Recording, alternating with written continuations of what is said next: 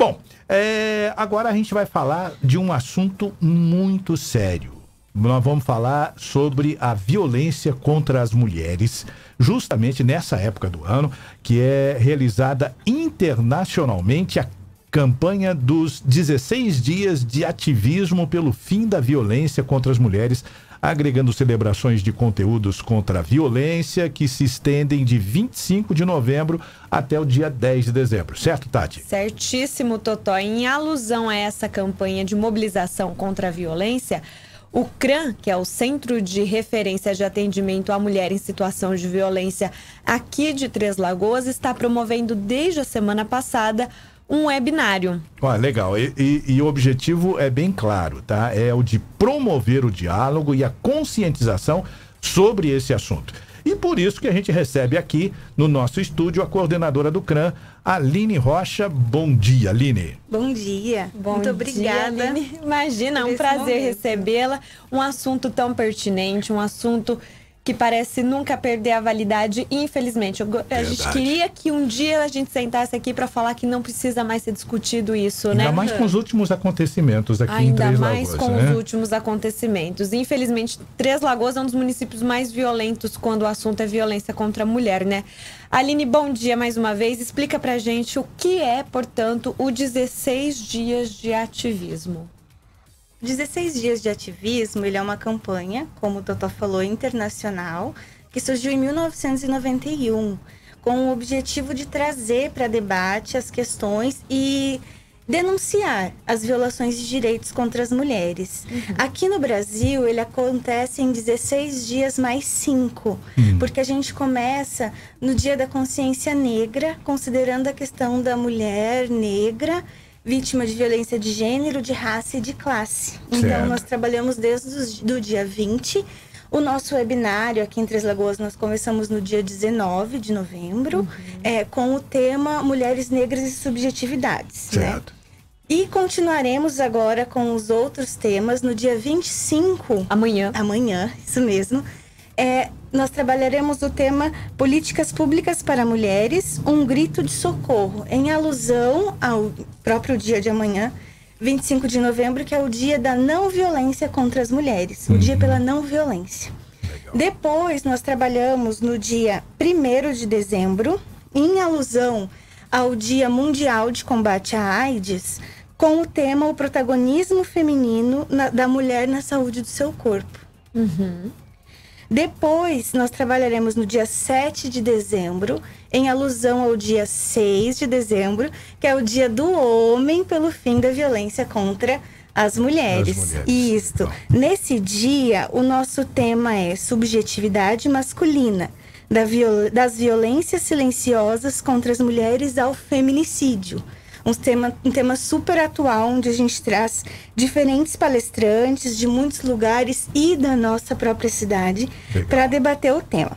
E a gente finaliza no dia 10 de dezembro, que é o Dia dos Direitos Humanos, com o tema Direitos Humanos e as Mudanças de Paradigmas referentes à igualdade de gênero no Brasil. Hum. Que a gente traz a questão do ser mulher. Quando a gente fala dessa igualdade de gênero, nós trazemos também a população LGBT, as mulheres trans, mulheres lésbicas, em diferentes é, em formas de se representar na sociedade certo. e que, independente da sua forma de representação, sofrem violência de gênero. Isso vai ser tudo online? Tudo online. Puxa online vida. e de graça. E de graça, gratuito. Como mesmo. que a gente pode acompanhar essas palestras, Aline? Essas palestras você precisa enviar que deseja participar para o nosso e-mail do CRAM, hum. que é cram@treslagoas.ms.gov.br. Ah, repete esse endereço enorme aí. Isso, CRAM, C-R-A-M, arroba treslagoas.ms.gov.br.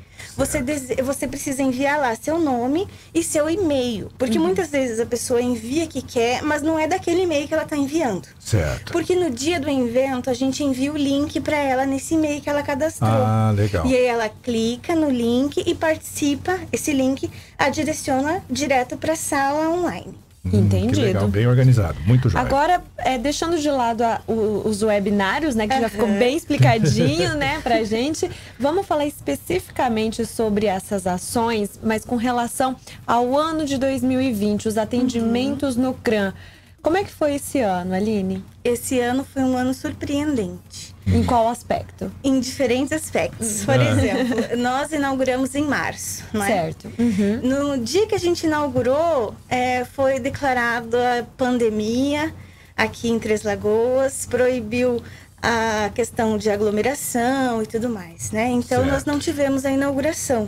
Uhum, me recordo. Isso, teve um processo na mídia falando que estava sendo aberto o CRAM, mas nós não tivemos a oportunidade de divulgar o serviço com muito afinco como gostaríamos. Certo. Mas apesar disso, a gente, nós podemos dizer que estava morno nos primeiros dois meses, mas que agora nós temos muitos casos. O CRAM realmente ele está com atualmente 409 casos Puxa. diferentes, lógico, de mulheres vítimas de violência para atendimento. E o nós que, que temos- são, quais são esses atendimentos? Essa mulher, o que, que ela recebe lá?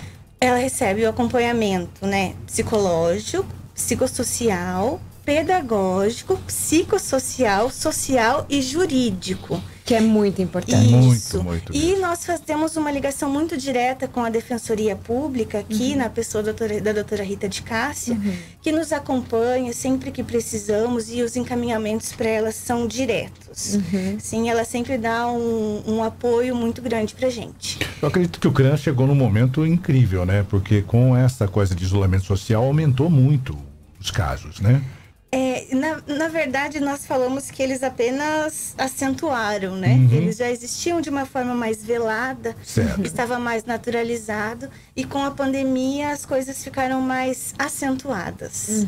E aí, porque aquele, aquela pessoa que não sofria agressão permaneceu sem sofrer, aquela que já sofria de uma forma mais leve, mais simbólica, apenas se efetivou. Às vezes nos só verbal, né? E, e não classificava isso como violência. É, nós, É? eu, eu traba, antes de ser coordenadora, eu trabalhei muitos anos como técnica.